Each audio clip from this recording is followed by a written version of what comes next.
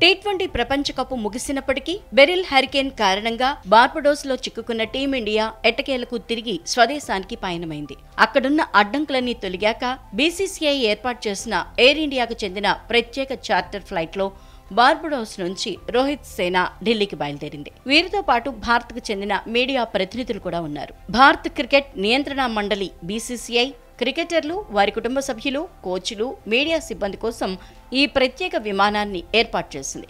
BCCI ఉపాధ్యక్షుడు రాజీవ్ శుక్లా బుధవారం సాయంత్రం బార్బడోస్ నుంచి ప్రత్యేక చార్టెడ్ ఫ్లైట్ను ఏర్పాటు చేస్తున్నట్లు తెలిపారు. ఇక బీసీసీఐ కార్యదర్శి జైషా మొత్తం వ్యవహారాన్ని పర్యవేక్షిస్తున్నారని ఆయన పేర్కొన్నారు. అటు ఏఎన్ఐ టీమిండియా ఆటగాళ్ళు సిబ్బంది బార్బుడోస్లో విమానం ఎక్కుతున్న వీడియోని షేర్ చేసింది. భారత క్రికెట్ జట్టు బార్బుడోస్ నుండి బయలుదేరింది. ఈ బృందం జూలై నాలుగున తెల్లవారుజామున ఢిల్లీకి చేరుకుంటుంది అంటూ తన ఎక్స్పోస్ట్లో పేర్కొంది. టీమిండియా పదహారేళ్ళ కలను సాకారం చేసిన ఆనందంతో ఎన్నో మధుర జ్ఞాపకాలను మోసుకుంటూ తిరిగి ఇండియాకు బయలుదేరింది.